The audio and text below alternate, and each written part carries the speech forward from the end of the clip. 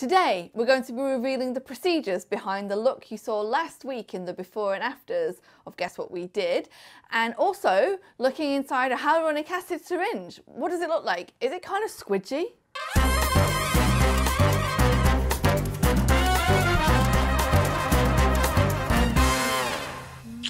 Hello TLCers. Let's get straight into it this week and show you exactly how we got the results in last week's Guess What We Did. So, you will have seen in the before and afters that she just looks a little bit more well rested. Everything just looks tiny bit more lifted and maybe, you know, you could be convinced she's perhaps been on holiday or something like that. How did we do that? Here you can see we're injecting some Botox into the chin. Why are we doing that? Because as you age, this muscle in the chin, this one right here, gets really strong and it rotates your chin upwards like this. Gives you a bit of a crease across the chin there as well. And it, it's called a witchy chin, which is not a great term, but that's what it's called. So if you just put a little bit of Botox right there, it can unfold the whole thing. Now you can see that we're injecting some Botox in the muscles just underneath the lip on each side. It's called the depressor anguli oris. And this is to give the mouth a bit more of a happy look. You know, it sort of turns up the mouth corners a little bit on each side. I'm going to use something called Radiesse. Now, I've not talked about Radiesse yet on the channel. Um, is slightly different to a normal hyaluronic acid and I use it pretty much exclusively only in the jawline and very, very rarely sometimes to lift the cheek as well. Why? Well, it's not hyaluronic acid. It's made of something called calcium hydroxyapatite, which is a little bit different and it's just got slightly different properties. So it kind of lifts a bit more than hyaluronic acid would, but it's also got the downside of you can't remove it if either there's a problem with the procedure or if you don't like it afterwards. So in the jawline, it works really, really well because you really want that jaw to just pop a little bit more. You know, you, you want to have that, they call it the Texan jaw sometimes in the Gulf apparently. You, know, you just want to make that jawline pop out because as we get older, we lose the contour between the face and the neck and it all just kind of goes into one a little bit. So you can see here, I'm using a cannula just to lay that Radiesse down there. Now, Radiesse, it does swell a little bit more than hyaluronic acid when you place it. So you're going to see some more erythema and some, which is redness by the way guys, sorry, got a bit medical for you there. Bit of more er, erythema and a bit of swelling there, more than you would normally see when we're doing hyaluronic acid. So just bear that in mind, yeah?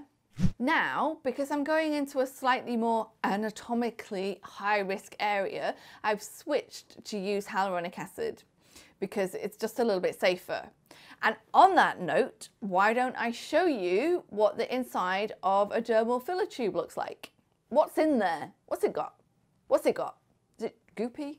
Yes, it is. So here I have got some out of date hyaluronic acid. It is from 2015. It went out of date. I don't know why, but it was just kind of lingering in the back of the cupboard. And I thought, you know what? I really must get this out and show people what it looks like. So this is Restylane Vital with lignocaine. So what is that? Well, Restylane Vital is also known as a skin booster.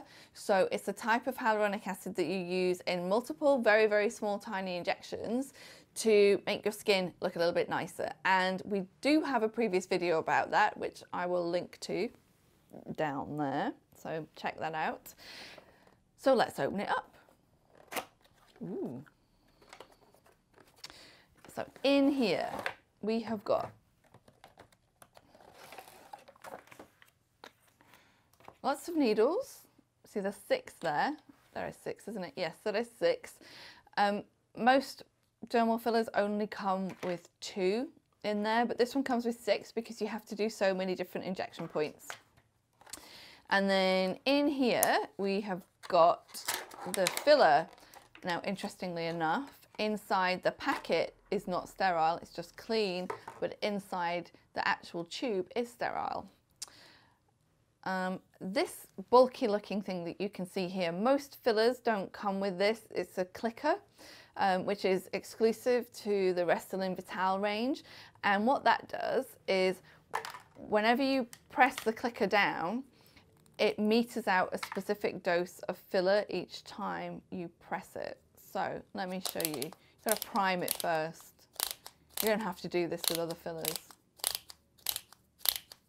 I have an automatic injector pen, um, which kind of does the same thing as this automatic clicker. Okay, so I'm going to just drop a little bit of the product onto my hand there. And you can see, well, you will see because we're going to show you a close-up of exactly how that looks um, when I drop out a tiny bit each time. And let me just feel that. So, ooh, it's kind of goopy. It's kind of like, um, it's not, it's kind of like a serum, but like a thick sort of serum. Like if a serum had, I don't know, a bit of sand in it or something. Um, that's how it feels like to me. Now, this particular product, as I've said to you before, um, this has got lignocaine in it. So it's not just hyaluronic acid on its own. It's got lignocaine, which is a local anesthetic. So it means that after you've had the procedure done, it doesn't, it's not quite sore afterwards. And with this one, you tend to do maybe two or three treatment sessions, which are about three to four weeks apart. And it's really good for areas like the neck, um, the face as well. You know, if you're just feeling like a little bit crepey or you want to get some more hydration into your skin. Um, if you look closer up at all different sorts of hyaluronic acids, they all do feel slightly different. So this one feels a lot more um, smooth than some of the ones which are more for lifting. Um, they'll have more of like a not granular texture, but like be maybe very slightly more grainy than this one will be, but they're all smooth. You know, they all feel very liquidy when they come out, very serumy, and they're all clear like this is as well. The Radiesse that I've just described to you is not clear. That one looks white, and that's why it looks white in the video that you've just seen. Now this is one of my all-time favorite injections. You can see here I'm using a cannula and I'm kind of just going underneath the nose a little bit there. So what that's doing is it helps the contour between the cheek and the upper lip not look quite so you know, undulating and hill and valley like. It sort of just smooths the whole thing off.